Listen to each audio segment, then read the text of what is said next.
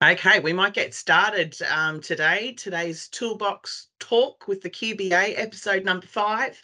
Uh, and episode number five, we are talking with our teammates down in Agriculture Victoria. Nikki Jones, in particular, Nikki's our biosecurity manager of apiary uh, within Agriculture Victoria. So I'm absolutely thrilled that Nikki's on board with us today and is able to give us a bit of a walkthrough and, and an introduction into what to expect if you're planning to travel, particularly outside of Queensland um, and especially down into Victoria, um, more so probably to run the almonds this year. So just before we get started, uh, just a little bit of general housekeeping rules.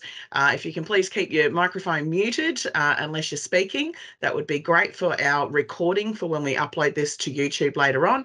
Um, and a second fact, um, we would like to uh, pay our respects and acknowledge um, the elders of the lands on which we all gather today, uh, elders past, present and emerging, and uh, pay tribute to their custodianship of the land in which we all gather on today. Um, I'm coming to you from Ugarapul country in the heart of the scenic rims and the foothill of the Great Dividing Range in southeast Queensland. Um, so I'll get straight into it. Uh, Nikki, welcome. Thank you so much for joining us today for this toolbox talk. I know so we've only got one person uh, in with us at the moment, but usually within the first five minutes we get um, a, a, few more of people trickling through. So, Nikki, I might hand over to you, and um, we'll get started with um, what to expect if we're travelling to Victoria. No worries. Thanks, Jo. Um, so excuse me, everyone, I'm in very casual dress today, casual dress Friday. There's hardly anyone in the office. And I've very last minute pulled together a bit of a PowerPoint presentation. There's probably too many words on there, but it's more for me to take me through what I'm uh, what I wanted to share with you all. So I'm just going to share my screen. Give me one second and do this. There, can you, oh, can you see that, Jo? Yeah, that looks Oh, good. no way. I'm sharing the wrong screen. I'm sharing the wrong screen. How do I? Yeah. Uh, share that screen. There. That look better? That looks great, Nikki. I'll leave that all over to you. Thank you. Well, I'll put you on the screen. There we go. All right. Um, so uh, I'm calling this presentation unofficially Everything You Need to Know to Bring Hives from Queensland to Vic for Almond Pollination, the 2023 edition, because some of you I know came down um, last year and will be, and things are a little bit different. Um, let me get here, there we go. Um, so two parts to what I'm going to talk about today. One is just a general understanding of the requirements and expectations.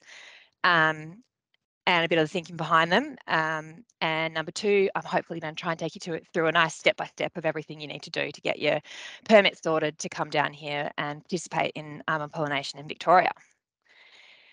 So first up, this time last year, Victoria, I suppose, basically we didn't have any evidence to say whether or not we had varroa mite here, and a lot has changed in 12 months here's a big picture of Victoria that I've covered blue, and that's to kind of represent that Victoria has undertaken that World Animal Health Organization level surveillance that the New South Wales blue zone did in order to sort of demonstrate that we also um, haven't had a detection or haven't got varroa mite present here. It's not 100% perfect, but it's pretty good. Um, so this year, last year we had a separate control area order just for the Sunraysia in the very top um, part of the state there, and everyone that came to almonds last year had to have a permit. So Victorians, Queenslanders, everyone had to have a permit to mm. come in. This year, that's been removed for our Victorian beekeepers. Um, in Victoria, the Biosecurity Code of Practice is legislated here. So Victorian beekeepers are already operating under the code, best practice biosecurity here. So what we have now is just the statewide control area order and anyone coming into the state from any other state requires a permit. And the permit conditions for those are the same. So whether you're coming from the New South Wales Blue Zone, Queensland or South Australia, you're all getting an interstate um, permit and they're exactly the same. Um, so let's, I'll go through all of the kind of expectations. First one yep. is really basic. Um, hives that you're bringing into Vic can't have spent any time since January 1st, 2021 in one of these red or purple zones. And when you're driving down here, please don't drive your truck through one, basically. that's the expectation from Queensland as well, Nikki. So that's yeah. great. that one's pretty standard nationally at the moment. So that one Yeah. should be across. I'm assuming people that are thinking about coming down, they're already satisfying this if they're thinking about coming. Um, the second one, this is uh interesting one. I haven't worded it probably very well here. It looks a bit aggressive. Whatever you bring in, take them back. But the permits basically for the interstaters. The hives that are coming in, what Victoria is asking, and we're doing this for our own Victorian beekeepers that are coming and going too. And if you're familiar with the code and you're familiar with the barrier system, you'll be all over Mhm. this. But what we're asking is hives that are coming into Victoria, we want you to identify or manage those hives as a distinct subunit or a load or a barrier system. Yep. Um, it's not prescriptive how you do this. So what I'd recommend is that you replicate what you're doing at home. It doesn't make any sense otherwise. But um, uh, you need to make sure your hives coming in are branded and they're easily identifiable. So if, if I, as an inspector, walk out into the field, I should be able to go, yep, there's Jo Martin's hives. Look at them. They've Mhm. all got a brand on them. They align Yep. with their permit. And I've got the piece of paper in my hand, the permit says there's 140 hives. I can see 140 hives. It all makes sense. Um, the managing in a load and having them marked in the field, it's all about just think about me and Mhm. making it easy for me to see in the field what these hives are, who they are. I need to rapidly be able to ascertain whose they are, basically, and if they've got a permit. Um, there's a couple of ways you can do this. So, Jo, ask questions here if you think people are going to be confused Yes. by this, because this is the most confusing part about our permit system is how you're identifying this load. So, what I've got coming in at the moment, I've got some beekeepers that are applying for one permit for 975 hives. Yes. Yep. And I've got other beekeepers that are applying for six permits for exactly 144 hives each because 144 hives is what fits on their truck. Truck. And they, day to day, um, using a barrier system and running those loads separately. So there's pros and cons to this. That we don't prescribe how you do it. You just need to tell us what you're bringing in. Um, and what you want to do is make sure that that load that you're bringing in, your record keeping behind that aligns with that load. So if you're already running a barrier system, I recommend applying for the multiple permits. hmm The disadvantage of that is when we get to the mite check records, you will be doing higher mite testing in order to get in.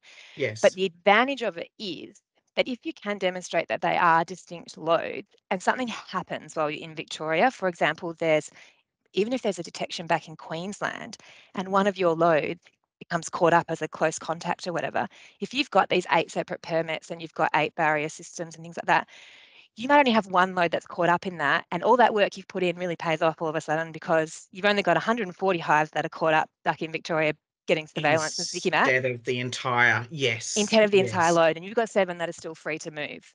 Yeah. But it doesn't make sense to do that if you're not already doing something like that Mhm. in your system. If you if you run if you're only bringing 400 hives down, those 400 hives for the last 12 months have all been within 15 20 k's of each other anyway. You mix things, you take brood across, you swap supers. There's no point. You might as well just get one permit for 400 hives. That's your load. And um, the advantage of that is the testing is slightly less to come in, just because the way the epidemiologic epidemiologic um, stats work. yes. Um, yeah. But yeah, so that's the most difficult thing people are having trouble understanding.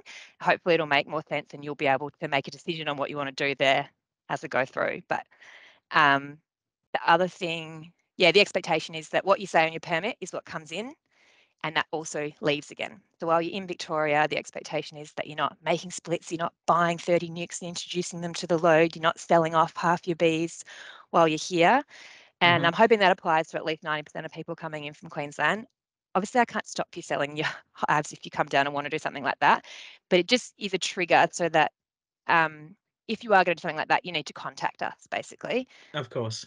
So if you think about your truck or your load of bees and you've got your piece of paper that's your permit, and if you're physically standing there something doesn't match, like I've sold 30 hives to this guy, or last minute the broker asked me to move 200 of these to a different location, which now doesn't match my piece of paper, it's just a trigger for you to get in contact with us and let us know. Absolutely. Okay. And and Um, contacting the department is as easy as sending the the apiary team an email, or is there a dedicated phone number or something like that that our people should be aware of? Yeah, so the best way for anything permit related is to email honeybee.permits at agriculture.vic. permit.gov.au. So I would, if you're coming down and you, you in, when you go through your permit process, you'll become familiar with that email address and hopefully save it in your inbox. And um, Karen, our permits officer on the other end of that, will be the best um, contact if you need to do anything like that. The other thing to note is the permit only lasts three months. So you've got to come into um, Victoria and leave again within three months. If you end up Mhm. staying longer than that, that's okay. You just need to notify us. And actually, it means under our legislation that you have to register as a Victorian beekeeper, is what it means if you stay longer than three months. So, Yep. Sure thing. So, Nikki, are there provisions in that case? Um, uh, just a scenario sake, um, you know, Bob Jones, our beekeeper, is is taking down three truckloads of bees, the equivalent of let's say 280 hives on the back of each truck.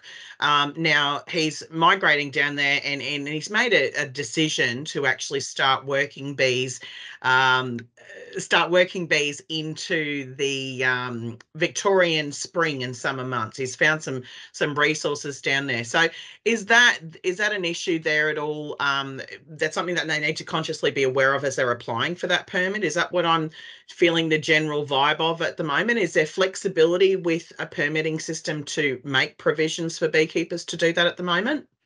yeah, so what you'd need to do is apply and get a permit variation, I suppose. Um, Yep. Once you you've got that three months actually you can log as many movements as you want in that three months. It doesn't mean that you just come to your almond orchard and leave. So if you're still going to fall within that three months your permit's still perfectly valid. You can go other places in victoria as long as you're letting us know which i'll Mhm. show you how to do that in a minute Yep. um, and leave. But if you're going to go longer than the three months you do actually have to register as a victorian beekeeper then and then you're subject to all of our um, so then your permit becomes um, completely different. You become, you become a victorian beekeeper Sure thing. That's probably very rare that that would actually occur. Um, I'm Mm. thinking probably two of the the more consistent um, approaches that we'll probably see is beekeepers from Queensland immediately leaving Queensland to work hives uh, in the almond orchards in Victoria, and then very quickly repatriating those hives back to Queensland. The other alternative that I see is that there is some appetite with beekeepers wanting to minimise some of their loads at the moment um, because we are having staffing and resourcing issues within our sector. So I do see that there's probably potential appetite that some beekeepers might be having conversations at the moment about selling loads of bees. So I suppose it's really important that if if they're going along those lines to start having a conversation with the team at Agriculture Victoria now so that they can make sure that they have got a complete understanding of exactly what requirements need to be fulfilled for what circumstances. Would I Yeah, be be- along the right lines? Yeah, definitely. Because what would happen is you'd still have your permit to come in, and then if you were going to sell, and so the permit is set up very much for the first scenario that you said, come in, leave, great, Yep. get the permit, it works.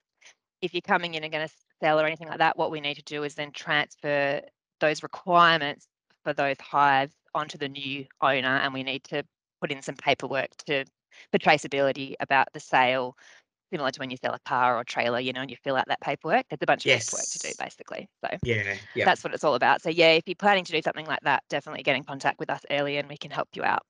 Um, but the permit is very much set up for scenario one. Come, go. Scenario one. Come and go. That's right. Come clean, go clean. That's what we like. Yeah. Excellent. So testing requirements. So this is the this is the tricky one here that um, I know that we've had a few stumbling blocks in Queensland and and guys really trying to get their head across exactly how they treat this. And this is that scenario that it relates back to. If you're you know moving down a, a volume of you know 800 hives, then exactly you know what are those numbers that you need to be testing, even though you might treat them as individual loads within your current barrier systems um, you know, what do you need to be washing within those loads, I suppose. So it's it's a little bit of a rabbit warren that we tend to go down, but um, I'm going to give you the floor to to to walk us through uh, a typical scenario on what we might expect to uh, need to meet as far as obligations for testing are concerned.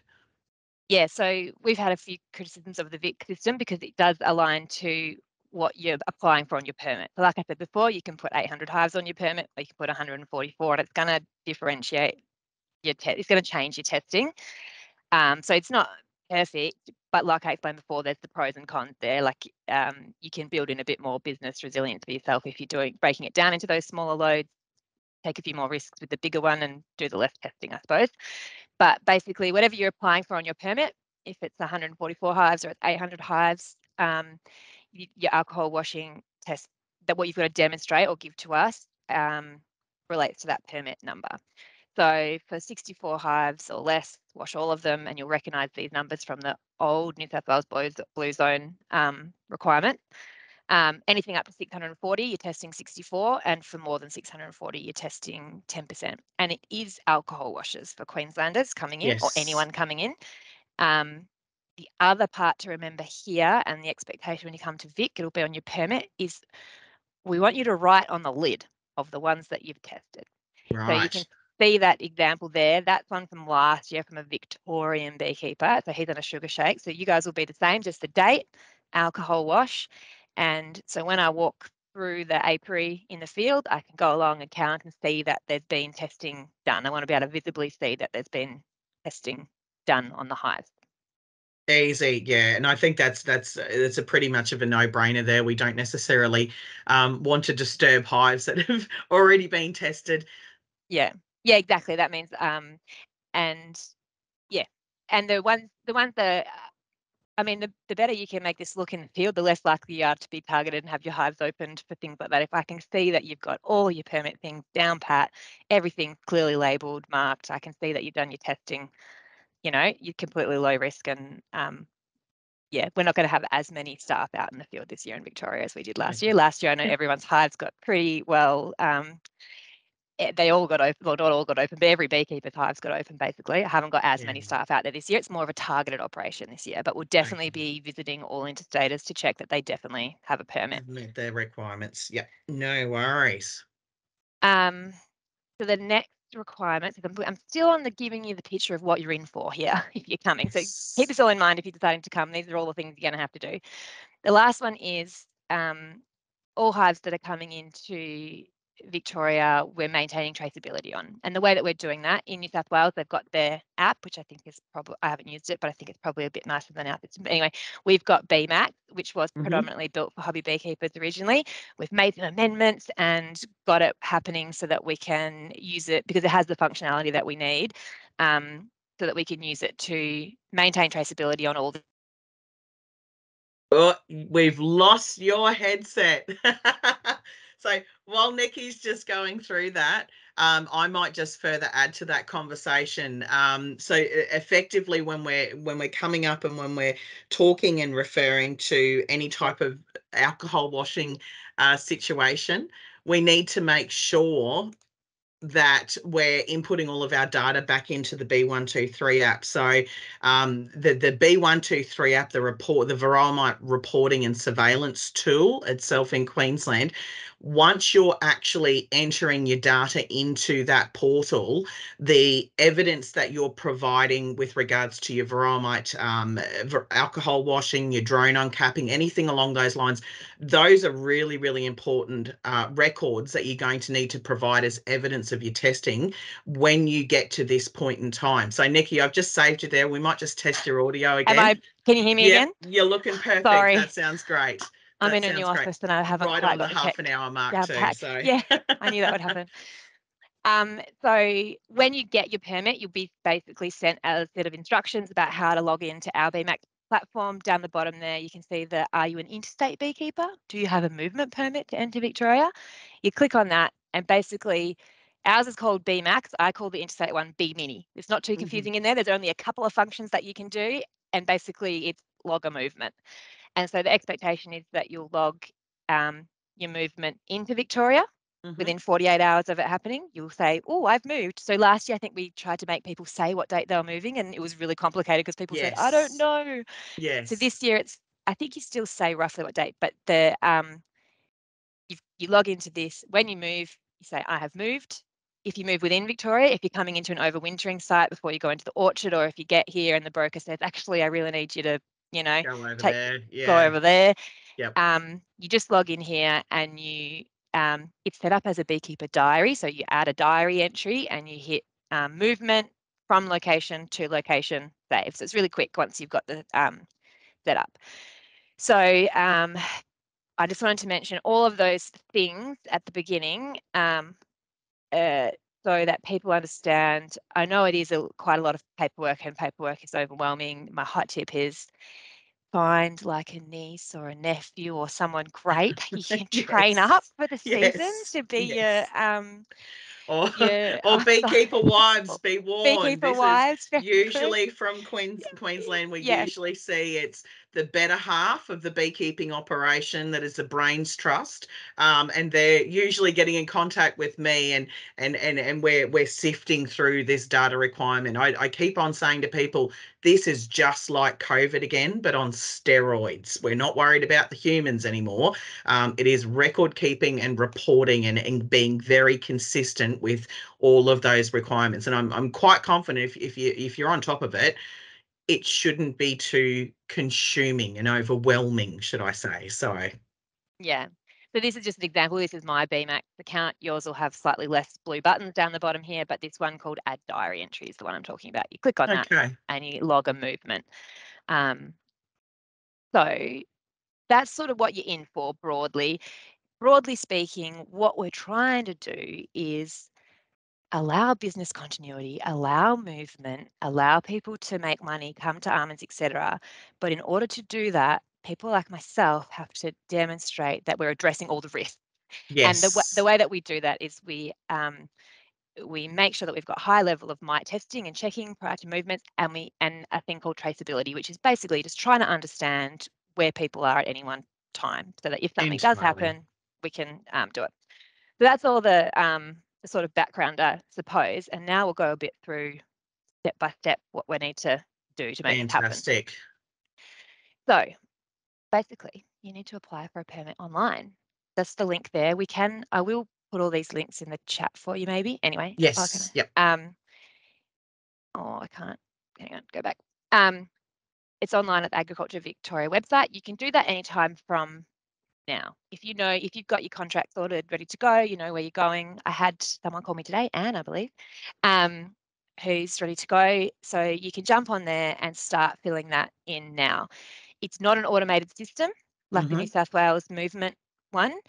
There is a physical human at the other end of it that's going to review it all. More than likely, you'll get a phone call. A lot of, you know, when we set it up, they, Yes. the data people, IT people say, "Oh, it just can be online." I said, "I guarantee, well, there'll be a phone call associated with everyone," and there is. but um, so there is a human on the other end of it, um, who will call you if you've done anything wrong or anything like that, help step you through it. Um, on the website, this this is the green button you're looking for at the bottom there. It's the very first one. There's a whole Mhm. bunch of green buttons with all the different permits, and you guys are the first one. Interstate registered beekeeper, permit to move hives into Victoria. So you click on that, and that'll get you started. Um, and you'll you'll t- be able to tick a bunch of declarations there, like I have not been in the red or purple zone. Um, uh, and yeah, I'll do my alcohol washes and all that, and it asks for your from address to address, all that. Um, then you need to get your documents in order. So what it will ask for is a copy of either your BOLT training. Queensland is familiar with the BOLT training, Jo. Yes, most definitely. All of our beekeepers should be on top of their BOLT training. It's not a, a mandated requirement here in Queensland, but it is a best practice requirement. So, um, definitely, I've got some messaging that will be going out around BOLT training in the next week just to highlight that if you haven't done it, it's probably time to revisit it and get your certificate sorted out. Cool. So yeah, so on our permits, there's an expectation that you've done some level of biosecurity education. The two things that we accept is um, the TOCAL certificate, which is the New South Wales that some of your Queensland beekeepers would have done, their their Varroa mite course that they've got, Yes. or that that Plant Health Australia biosecurity online beekeeper training. So you have to have done one of those and have your certificate submit to the permit officer. So you can also do that now when you put it in. There's no time limit on that. Um, one month prior to moving, you do still need your business as usual health certificate. So people Mhm. that have been to um, Almonds before. Yes. almonds before, normally you would have just got this one piece of paper and down you come. That bit of paper you still need. This permit system is addressing all the risk associated with Varroa. Varroa. Yeah. That bit of paper still exists. It addresses your AFB risk basically. So you need your honeyculture test. You give it to Patricia Swift or or one of the apiary officers. Hamish Lamb. Hamish Lamb yes. and they'll sign off on that for you. So you'll need um, that bit of paper as well. You should do that one month. Uh, you can do it up to one month prior to coming. Um, and then two weeks prior, so you can apply for your permit earlier because obviously Mhm. you're going to have to submit those mite check records and the mite checks have to be done two weeks prior to movement. But I'd advise you to get your paperwork in first and you'll get everything sorted and it will just say pending that you provide these records two weeks before. So you know at the last minute you've only got one thing left to do. Um, so those ones you won't be able to do till two weeks prior. We accept them in any format that you're keeping them in. So if you've got them on the B123 app and you can print them out, send them like that. If you've got them in a diary or on an Excel spreadsheet, however you've got them, you just need to be able to give them to our Supply them. permits officer. So you can either attach them on that online system or you can email them to Honeybee Permits Okay. officer. I might just ask there as well, Nikki, is is Mm. there a requirement for um, regular and consistent testing, if that makes sense? So are you also looking for uh, alcohol washes that have been completed 16 weeks prior to your almond washes, for example, sake? So if you if you're leaving within that two week period or are you looking for those? Um, because that's that's something that it's it's been a funny question that we haven't really been able to get across, I suppose. But you know, we are expecting people to be meeting those thresholds. You know, every 16 weeks you're washing your bees. Um, for the purposes of these Queensland permits, the only thing you'll be asked to demonstrate is that two weeks prior one. You won't have to give evidence of um, earlier. We did have some other permits um, for new people that were stuck in New South Wales for a long time where we were accepting the prior ones. But Past records. yeah, the reason why it is for two weeks prior is because it means that you can come in for the three months and none of your repeated surveillance falls in that time. Does that Sure. make sense? Yes. Um, yes. So it is only the two weeks prior. So by all means, you can show us all the rest of your records. I hope you're doing them in Queensland, but uh, that's Queensland's job to collect yes, you better that. be doing them, Queensland. you better Um, be I'm ex- doing them. Each state should be collecting all that stuff, and for our purposes, we're just interested in that you've done one prior to the movement, I suppose. Okay. Yes. Yeah. Lovely. And is there just furthermore to that? Is there a condition then um, at that the the other end of that sixteen week period that you're sub- you're conducting another alcohol wash and providing that data back to BeeMax? Not on ours, no. It's just the one on entry. Come, go home, and tell Queensland Yes. you might check when you Go go straight back to Queensland. I know it doesn't sound very nice, does it? It's No, it doesn't. keep it as simple as possible because we understand that people are likely have obligations in their own state around that stuff. So it doesn't duplicate anything like that. It's just very basic. Do your test, come in, go home again. Keep doing your tests up there. Awesome. Yeah. The Um, old a- April, August, and November. They're the mite Uh, that- you need to remember. So if you if you're hitting your markers with that, you should be fine. You should be meeting all of these requirements and expectations on your permits. Yeah, the only requirement or expectation on there is if at any time you become aware that you're a close contact or something like that, then you let us know. Or Of obviously, if you go home and you find something, that you contact us. That's I think the only permit condition related to that.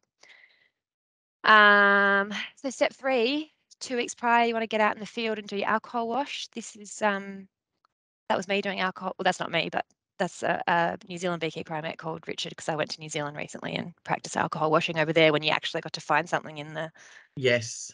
in the bottom of a liquid. Um, so yeah, sorry. So that's your fieldwork component. You're going to have to get out there um, two weeks prior. Hopefully, you guys will have less trouble with that than South Australia, being in the warmer climates up there, because I know it's difficult two weeks prior to August. So I do understand that. Um, and if you're having difficulty, the main thing is that you get it done, I suppose. If it's two weeks and one day, just let us know.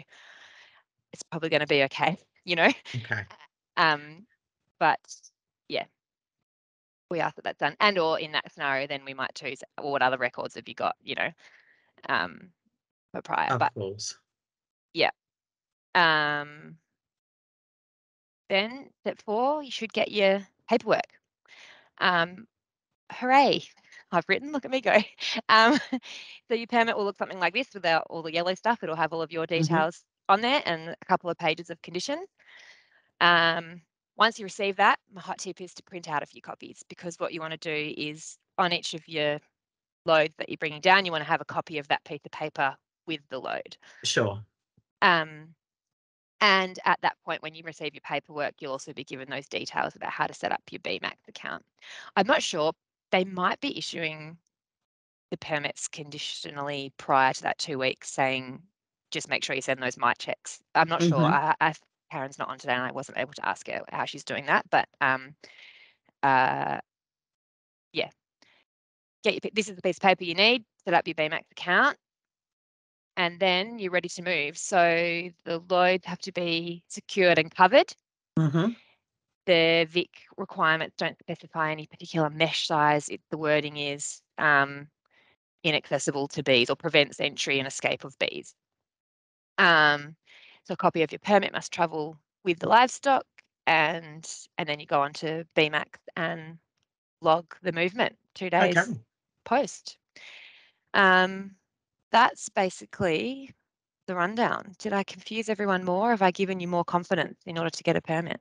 I think I thought well the, I, I I'll say that um you've definitely given me more confidence but you know people ask me what I do for a job and I say I look after 160,000 honeybee hives in Queensland and the welfare of nearly 10,000 beekeepers. So um yeah so I'm definitely across that. But um look I want to open the floor up. We've got a few um people here in with us. I've got Rick and Craig and Anne.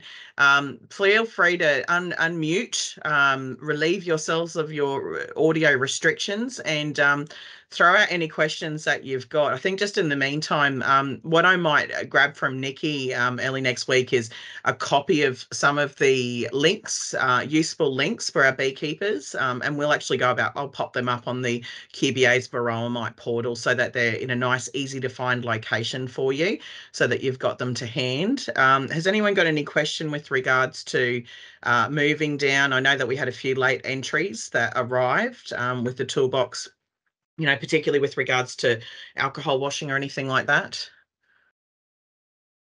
The floor is yours. Thanks, Nikki. I've, I've just put in the chat there the link to the actual permits page, Awesome. and that's the email address you can contact with any questions or Fantastic. thing like that. Yeah, so I think I think moving forward, um, you know, we've definitely got some interest in the QBA to to probably start covering a few more of these regular check-ins, um, just with the teams Ag Victoria, New South Wales DPI, and Biosecurity Queensland, um, just to make sure that we're really, really across everything that's moving along. But I I do expect, you know, we've we've had 12 months um, to to work through and and learn some lessons, I suppose, from the last migration to almonds. So, um, you know, everyone is invested in making sure that this is a, a, very safe operation to to travel down to Victoria and, and, and get yourself home again. Um, I just would err anyone on the side of caution. You need to just make sure that you're across the the three different jurisdictional requirements. So if you're leaving from Queensland, you know you do have some requirements that you need to fulfill uh, in Queensland, and there are some conditions on your departure. So if you do happen to leave Queensland, on the premises that you're going into Victoria underneath an approved permit system and returning back straight back to Queensland, you won't be required to complete a Queensland permit at all. We're just seeing that as, as, one simple migration to and from. Now, we are starting to have some conversations with the jurisdictions. Um, some of my concerns in particular is having a look at approved travel routes again, because obviously we don't want you going anywhere near Narrabri. Uh, so, of course, as soon as you get to Moree, you turn and head head west. Um, we want you all going west to um, make sure that you you're well and truly past um, that that red zone pop up that we've got at Narrabri.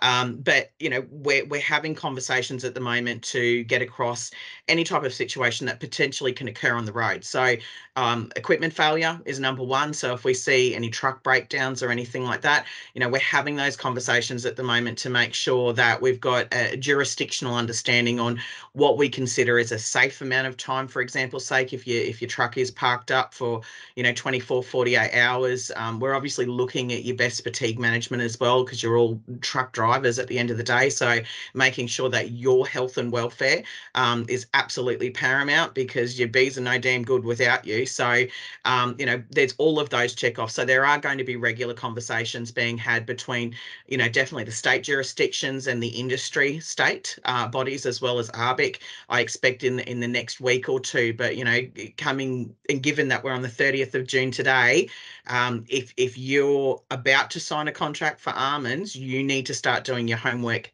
now.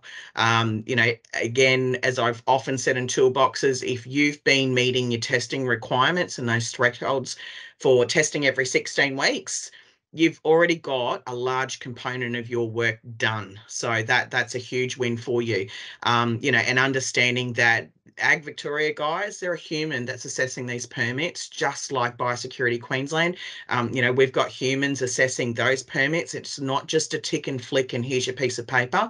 Um, there are people looking through that. So obviously, any other supporting information that you can give to help satisfy someone's, uh, you know, interest in understanding exactly how you've been keeping your bees uh, and and meeting your biosecurity obligations, that's going to be helpful for you um, in securing permits. So there, there is some workaround room sometimes. So um, I definitely go to that. Nikki, is there anything else particularly that you want to highlight with us um, um, before we flick through? Uh, I was just going to say on the truck breakdown one, that I remember there being a lot of anxiety around that last year because last year Victoria was not allowing New South Wales hives in, but this yes. year we are allowing blue zone New South Wales hives in. So it's really not a big deal for us this year, if you stopped unexpectedly in the blue zone of New South Wales, it's not going to impact you getting to Victoria because there's other blue zone Victoria, uh, New South Wales hives that are coming anyway. That are going year. to be in there. It's, yes. it's not like a um, yeah, it's not a deal breaker in any way for that won't impact you coming into nice to note, but um, that won't yeah. impact anyone this year. So there's a lot less anxiety around that stuff. Um, the only other one is uh, that um, there's no mandate from us, from Agriculture Victoria, with regards to the placement of hives in the orchards. According to last year, I think they put a lot of the Queensland hives yes, together. bubbled, yeah, yeah. Yeah, and I believe the from my discussions with the brokers, they're attempting to do that again with all the different states. I'm not sure how successful it will be, uh, um, uh, but I know that yeah, the brokers and that are looking into that again. So hopefully that um, is another good thing that uh, beekeepers, brokers, and orchardists can work together to um, to make that because I know people feel a lot more comfortable when they're. Oh, um, entirely. You know, yeah, yeah, sure. That's definitely no that's a very very good mark well um nikki i, I want to express my sincere thanks to you um and the team brett hi everyone um because it, it really is very helpful um you know i i have a strong motto about preparation uh, and planning and making sure that everything's going to go tickety boo um you know we want a mickey mouse style exercise where we can uh, go clean enter clean and return home clean. Um, and that's that's our number one priority is is making sure that we're protecting the interests of everyone. So nikki i will um thank you very much for that. I might just park you just for a quick moment because. I'm going to translate now over into the queensland varroa mite surveillance numbers now these numbers are um, calculated from last friday at the moment I'm, I'm working on getting some new numbers for today but hopefully our bq staff are still madly and furiously working to be able to populate that information for me. Uh, now, hopefully, if everyone can see that. So this is actually what we're looking at as far as B123 submissions in Queensland. Uh, so this is relative of the uh, initial date itself.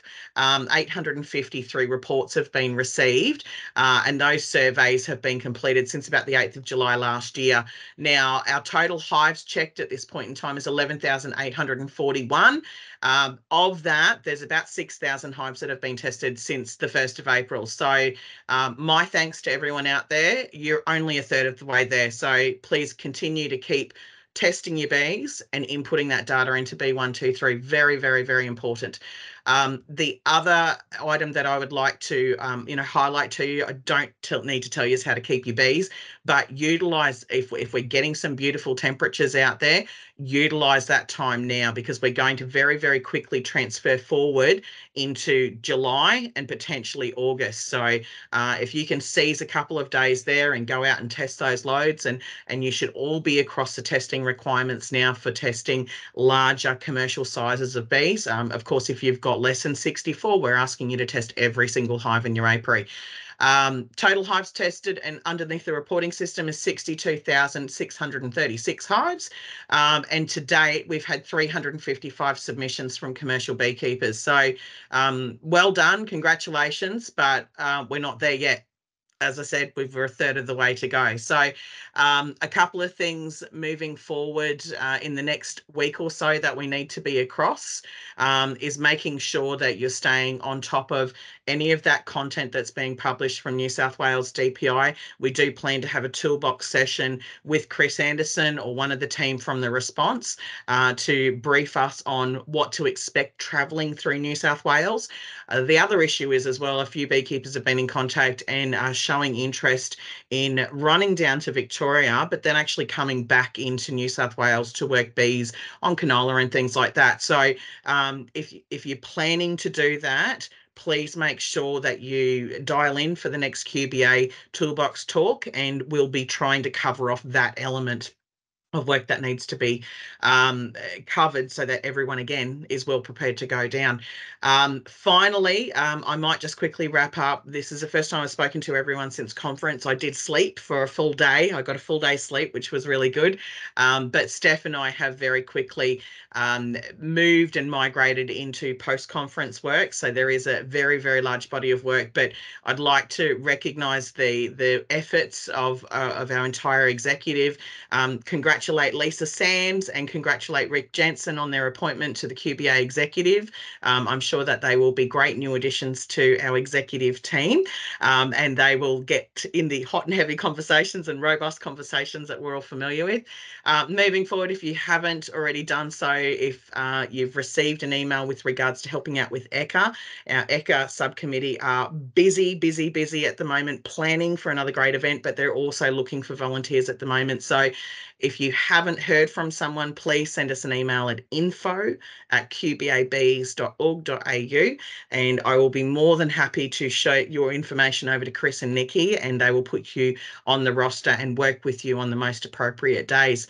Uh, apart from that, we're tracking quite nicely um, thanks to our annual sponsors as well. Our webpage is getting another little bit of a facelift in the next week or so at the moment. So definitely go on by and visit qbabees.org.au to see what changes have been made there. Uh, but apart from that, um, I will bid you adieu for this Friday afternoon. Unless anyone else has got any questions, I'm going to open the floor again one last time to Rick, Craig, or Anne and I don't have anyone unmuting. So um, I'll wrap that today. Thank you so much. Thank you, Nikki, so, so much. Um, I appreciate the effort, particularly at this time on a Friday afternoon. Um, go and look for a warm or cold beverage of your choice. Uh, please enjoy. Uh, but for now, we'll see you in a fortnight's time. Thanks, everyone. Thanks, Jo. Bye.